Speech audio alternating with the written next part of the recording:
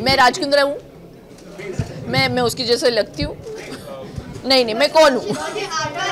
हाँ।